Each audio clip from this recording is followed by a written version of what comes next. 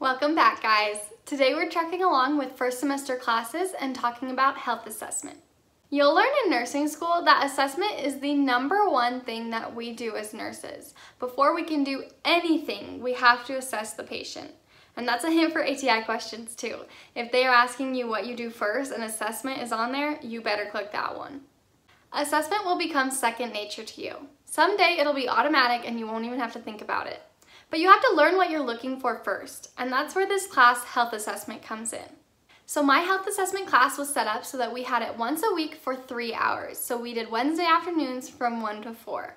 So my professor taught with PowerPoints for the first half of the class. He would go over the anatomical structures, just so we would have a review of what we were looking at, the normal findings, so what you would see on a healthy patient, and then the abnormal findings. So he would go disease by disease and tell you what you would see in a patient that has that. So anywhere from like a rash or a distended abdomen to little things like concave nails. So the second half of the class, we would do hands-on work with each other. So say we were talking about internal structures of the ear that day. We would grab a scope and we would check our partner's ears and make sure everything was fine. Other days we would go into the lab and we'd lay down on the beds and we would like palpate each other's abdomens or we'd percuss on each other's backs to hear lung sounds or we would get up and do range of motion with each other. So it was just super fun, good way to practice what you would be doing in real life with your patients. So my experience with this class, when I think back to health assessment, I actually had a really hard time with it. And that's because we would talk about so many different things that could be wrong in a human and they were pretty rare. You don't actually see them in real life. And that's because my professor wanted to cover every little thing you might see, but we weren't really told that that's not something you're going to see or going to assess for. And there are some things we looked at, like with the scopes in the ears, that's something that like nurse practitioners do, but regular registered nurses wouldn't. And that wasn't really specified. I was like, well, crap, I have to be able to do all of this and do it quickly with every single patient. And that's just not the case. In real life, you're only going to have five to 10 minutes to do an assessment on your patient.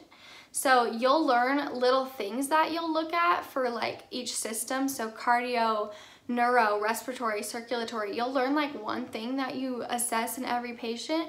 And then if you find something abnormal, then you'll do a focused assessment on someone. And so that wasn't really explained to me and I got really overwhelmed trying to learn every single thing that I needed to and I just didn't need to do that. So my tip for you is to notice what your nurses are doing in clinical and feed off of that. So see what they do for neuro. Maybe they just look at the pupils or maybe they just do like hand grips and like cardio, they just listen. Um, just the little things like that, follow what your nurses do. And every time you're in clinical, when they do a quick assessment on someone, follow along with them. Like if they're listening to the heart and then they go to the abdomen, you listen to the heart while they're on the abdomen and then you switch to the abdomen, if that makes sense. You want that practice assessing because to be honest, I still am not that comfortable with it and it just takes time and practice. The other thing I had a hard time with in health assessment was charting.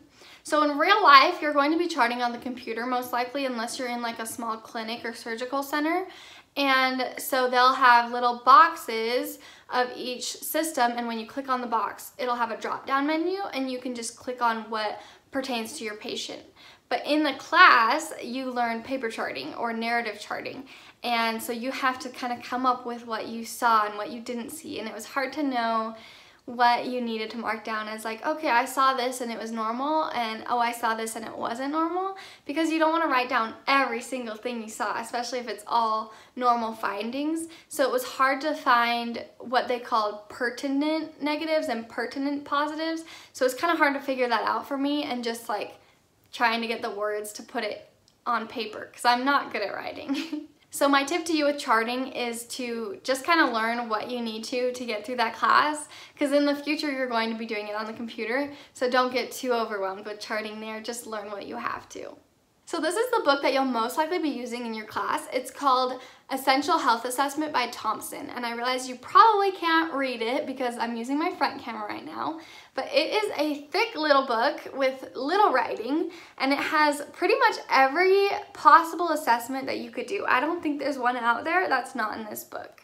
And so when you open it up, it'll go assessment by assessment and it just has It just has like the steps of how you assess and then it'll have the normal findings and abnormal findings. So it not only tells you how to assess it, but how to interpret what you see.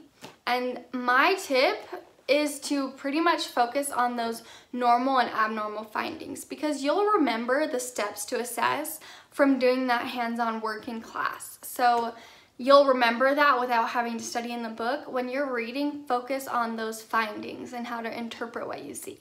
Like I said, you learned so much in this class. We had quizzes at the beginning of every class period and it was really stressful because you would learn so much and you knew there were only going to be 10 questions on the quiz, but you didn't know what those questions were going to be on. And so my tip to you is to focus on what your professor is emphasizing during class. They should, if they're a good professor, hint to certain things that are important. And so really pay attention to those and study those for your quizzes. Before I end this video, I wanted to say thank you to all you guys that have subscribed recently. I am so appreciative of all your views because they push me to keep making these videos. So thank you for watching. If you liked this video, go ahead and give it a thumbs up and I will see you guys next week.